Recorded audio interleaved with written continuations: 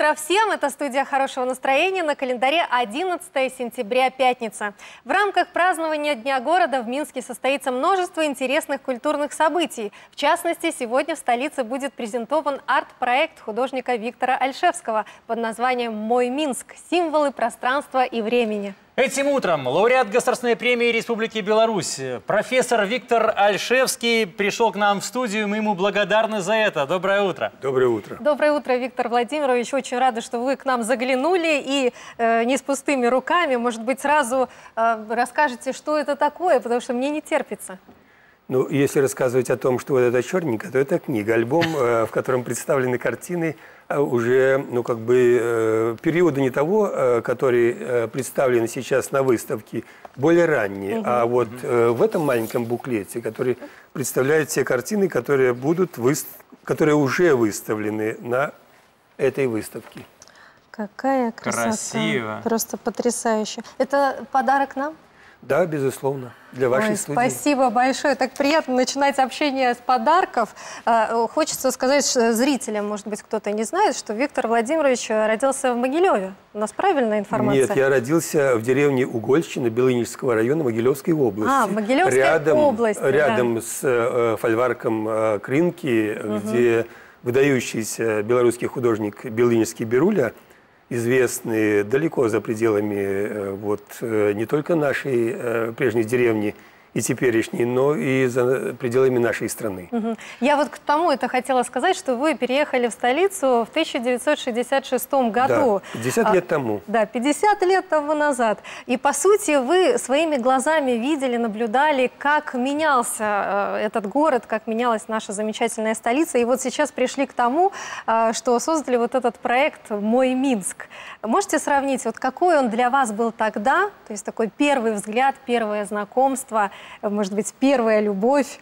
И вот сейчас. Э, безусловно, и первая любовь, и восхищение, поскольку на тот период, даже в 1966 году, город Минск был таким уже красивым, фундаментальным. Если мы рассматриваем вот проспект, и, собственно говоря, тогда улица Республиканская была э, рядом Немига, и мы тогда ходили по этим э, мощенным камнем улицам, старые домики вот эти небольшие, но а, производил Минск тогда столицей мира. А сегодня, если уже говорить за этот 50-летний э, период, и особенно вот последние 20 лет, город просто преобразился и ну, превратился в жемчужину, поскольку его сегодня можно только э, поставить рядом с Парижем, Лондоном, а, Берлином и другими столицами мира. Это действительно удивительный, красивый город. И вот этот проект, который уже, он практически формировался на протяжении вот этих, э, с моей стороны, 50 лет, э, в моем мировоззрении, родилась вот эта вот идея, и она уже пять лет э, продолжается над созданием вот этого проекта наиболее выразительные, интересные архитектурные сооружения. А Но... вы ну, а помните, что тогда впервые вдохновило вас, может быть, свою первую работу? Но, безусловно, что э, первое это не Мига была, поскольку мы тогда ходили и ставили мольберты, и рисовали э, старые улочки. И, безусловно, э, вот эти большие на тот период уже на проспекте архитектурные сооружения, они тогда еще подавляли, поскольку маленький, еще 12 лет было тогда, да, и для меня это было, ну, что-то такое сверхъестественное. То есть это огромное здание, и практически так как я умел тогда рисовать, это невозможно было хотя бы даже какую-то деталь нарисовать эм, э, э, одного э, или того или другого здания. И, безусловно, мы рисовали тогда старые вот эти улочки, старые маленькие дома, но сегодня вот эта попытка уже создать образ, то есть символы уже ну, как бы современной эпохи, а Минск, который сегодня звучит ну, в всех странах мира. То есть он на слыху, на виду. И, конечно, для меня это событие жизни. А вот скажите, проект непосредственно уже завершен, или вы как-то еще предполагаете дополнение, какие-то картины будут появляться? Конечно, я думаю, что это все оставшуюся жизнь, поскольку город строится, и даже э, вот этот период э, довоенный и послевоенный, то есть это наиболее такие яркие архитектурные сооружения, э, даже если работать, то и э, еще не початый, что называется, край э, работы над э, вот этим проектом. То есть он бесконечный. Он просто настолько интересный, увлека... увлекательный и восхитительный. Если вот даже брать э, э, главпочтамт, То есть э, 2 на 3 метра картину, которую я очень долго довольно-таки работал над ней. Я просто так уже как-то пытаюсь, просчитывал время, сколько какую деталь. И вот архитектурный, там, скажем, э, фрагмент той самой архитектуры главпочтамта э, с утра, скажем, с 9 до 7-9 часов два месяца. А если брать Беларусь в целом, какие места э, нашей страны наиболее вас вдохновляют как творца? Я думаю, что всегда мы начинаем с того места, где мы родились. То есть, в принципе, это малая родина. И, безусловно, а, любая часть, когда мы посещаем, э, будь ли это поле, будь ли это маленький городок или деревня, или город, э, одинаково и в одинаковой степени они восхищают, потому что, ну, как бы это часть э, нашего сознания, и мы всякий раз восхищаемся от того, что мы видим.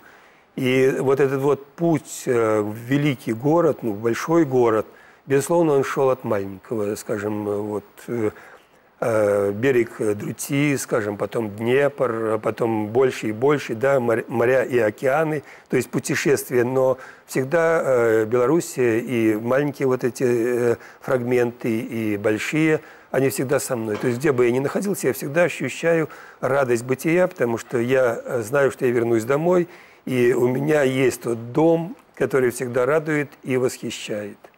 Ну, вообще э, бытует мнение, что родная земля помогает и художника питает, но, тем не менее, очень большое количество художников, которые э, по тем или иным причинам уехали в свое время из страны, стали известны уже где-то за ее пределами. Вот вам творится где э, лучше? всегда лучше там, где мы есть. Тем более, что наша Родина, она всегда лучшая. И путешествовать, скажем, будь ли ты там в Индии, в Египте, в Лондоне или в Париже, да, во Франции, в любой другой стране, то есть везде прекрасно, правда? И трудно сказать, где как бы остановился бы вот и жил.